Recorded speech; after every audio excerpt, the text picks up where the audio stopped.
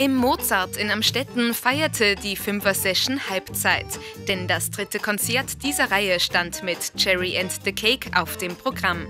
Das freut mich sehr, dass das kleine Kulturprogramm so gut angenommen wird. In Zeiten von Corona ist es ja gar nicht so einfach. Die Abstände werden eingehalten, es, äh, die Zuschauer sind sehr, sehr diszipliniert und äh, es tut gut, auf die eine oder andere Kulturveranstaltung wieder gehen zu können.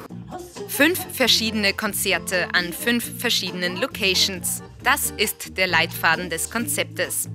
Die Bühne samt Publikumsbereich und Bar vom Mozart vermitteln ein Gefühl von Wohnzimmeratmosphäre. So kann man das bezeichnen. Äh, dieses äh, ehemalige Kino hat meiner Meinung nach nicht nur eine ausgezeichnete Akustik, sondern auch wirklich äh, ein ganz tolles Ambiente. Und zu diesem Ambiente passt die Band Cherry and the Cake wie die Faust aufs Auge. Also ist es an der Zeit, die Musiker hinter der Band vor den Vorhang zu holen. Wir sind die Band Cherry and the Cake. Wir machen seit 2015 gemeinsam Musik. Ich und die Sophie haben angefangen Lieder zum Schreiben und haben jetzt länger eigentlich immer nur so vereinzelt Gigs gehabt und jetzt sind wir eigentlich auf der großen Bühne im Mozart und haben uns dazu Musiker geholt, den Simon Schnirzer am Akkordeon, am Schlagzeug den Dominik Meyerhofer und am Bass den Michael Stöger. Und mit der Formation treten wir heute auf. Zu fünft ergibt die Gruppe ein gefühlvolles und musikalisch perfektes Gesamtpaket.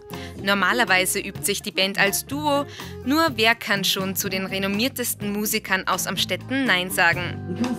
Die Songs stammen übrigens alle aus der Feder der Bandgründer. Äh, der Uli und ich, wir, wir schreiben beide äh, selbst die Songs. Ähm, das leicht, also den Unterschied erkennt man leicht. Alles, was auf Mundart geschrieben ist, ist von mir. Alles, was Englisch ist, ist vom Uli. genau, und äh, von der Musikrichtung her ist ähm, zwischen äh, Indie, Jazz und Folk und ein bisschen Latin, genau. Und musikalisch geht es quer durch die Bank und es sind langsame Nummern, es sind schnellere Nummern, es ist sehr verschieden, sehr, das Programm. Die Fünfer-Session bietet also fünf Bands eine abwechslungsreiche Bühne. Genauso abwechslungsreich sollten die Musiker sein. Und das sind sie auch. Die Auswahl der fünf Bands äh, ist mit der Kulturabteilung und auch äh, in Kooperation mit der Amstetten Marketing äh, GmbH passiert. Da bin ich da, vor allem in erster Linie der Elke Strauß und auch in Georg Trimmel sehr dankbar. Wir haben da sehr eng kooperiert und äh, so sind die Bands zustande gekommen. Wir haben da auch viele äh, junge Partien äh, angesprochen äh, oder viele junge Musiker und Musikerinnen helft uns, machen miteinander was. Wir wollten wirklich eine breite äh, Palette an Musikern äh, zustande bringen und ich glaube, dass uns das wirklich ganz gut gelungen ist. Mit Sicherheit. Die Auswahl war vermutlich doch sehr schwer, da es in Amstetten so viele großartige Bands gibt, manche davon schon seit einigen Jahrzehnten. Und jährlich kommen neue dazu. Am Städten kann sich da meiner Meinung nach wirklich sehr glücklich schätzen. Es gibt eine ganz große Palette an Musikerinnen und Musikern, die wirklich hervorragend musizieren. Da hilft nicht nur die Musikschule, die alle musikalischen Stilrichtungen äh, äh, unterstützt mit.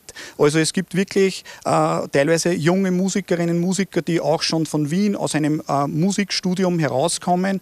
Und äh, zu meinen Studienzeiten war es so, äh, da war Wien natürlich die große Szene, Krems hat eine tolle Szene gehabt und ich glaube, jetzt ist es momentan so, dass das wirklich noch am Städten kommt und wir können uns glücklich und froh schätzen. Also wir haben top, top Leute und das macht mich stolz und freut mich. Musikalisch langweilig wird's in Amstetten also ganz bestimmt nicht. Wer übrigens noch mehr von Cherry and the Cake hören und sehen möchte, sollte unbedingt auf YouTube und Facebook vorbeischauen.